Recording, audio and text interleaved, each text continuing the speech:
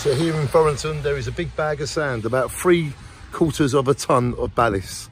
If anyone would like this sand, please come and take it. It is here in Thorrington. Please respect the people that live here. And this sand is available to take away. Thank you and shine on. Free sand for anyone. And it's right there with the phone box.